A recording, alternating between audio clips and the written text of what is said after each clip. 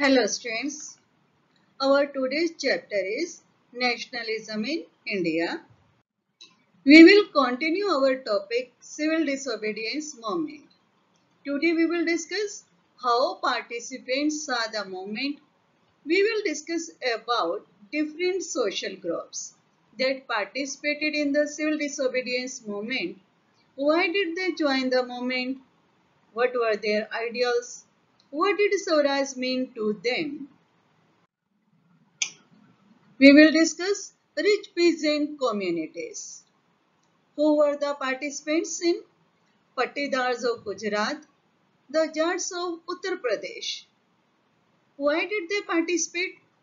Being producers of commercial crops, they were very hard hit by the trade depression and falling prices.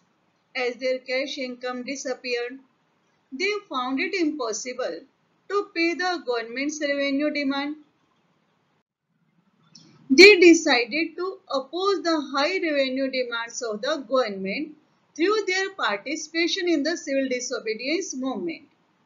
But they were deeply disappointed when the movement was called off in 1931 without the revenue rates being revised.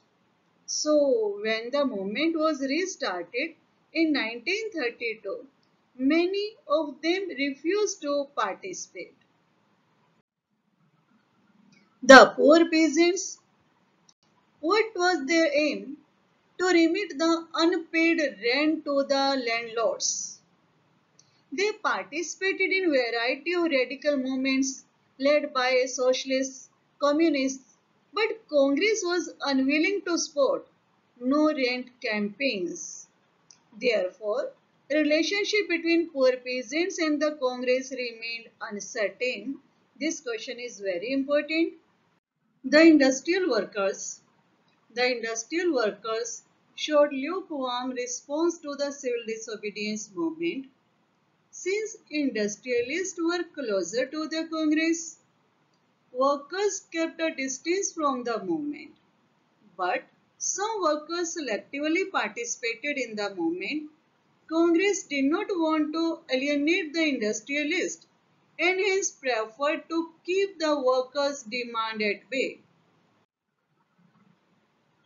The business class. Why did they participate? The business class wanted protection against imports of foreign goods.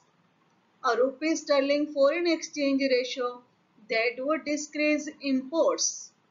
They opposed the colonial policies that restricted business activities. In 1920, they formed the Indian Industrial and Commercial Congress and in 1927, Federation of the Indian Chamber of Commerce and Industries FICCI. Prominent industrialists were Purushottam Das Thakurdas and G.D. Birla. The industrialists attacked colonial control over the Indian economy. They supported the civil disobedience movement when it was first launched.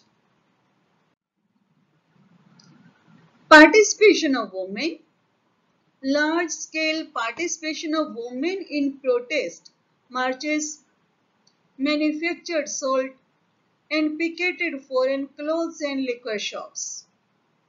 In urban areas, women were from high caste family. In rural areas, they were from rich peasant households.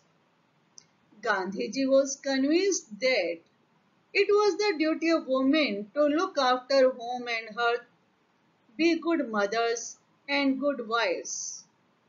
For a long time, the Congress was reluctant to allow women to hold any position of authority within the organization. Thank you.